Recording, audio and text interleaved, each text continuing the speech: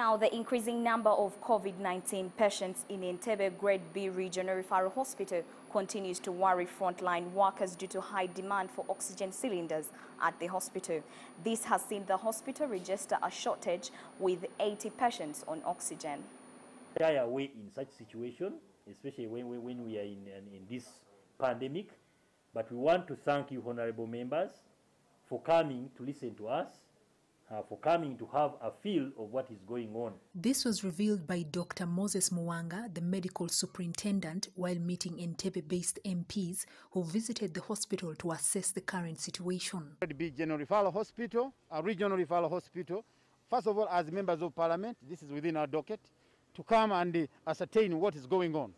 Entebbe uh, General Hospital uh, was, uh, is, is under now the central government so the minister and the members of parliament are directly involved in the day-to-day management of the hospital. The visit was prompted by reports that some health workers had abandoned service due to outstanding allowances. And about is their salaries and the risk allowances.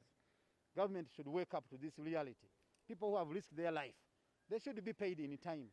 Because if somebody has risked his life to work in a disease that can kill you in two or three days, or in one week or two, if you take six months without paying him, you are like telling him to die before he's paid, before he enjoys his money. So let that money be paid, cash down. Every month pay the money. If he's to die, let him die when he has eaten his money. So those are the issues we are going to address.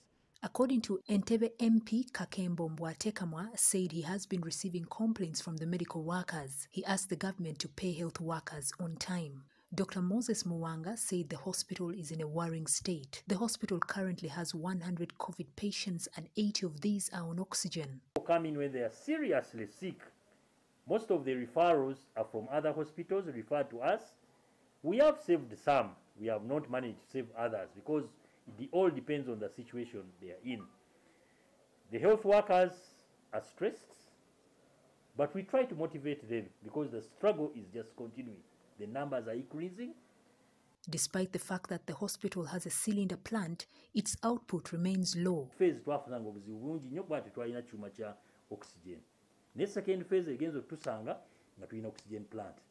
Plant eyo tugirina naye tesobola tesobola kusustaininga consumption Muwanga adds that the main challenge they are facing now is that patients go at the hospital after self-medication. This story was compiled by Godfrey Sempija for the news in Entebbe.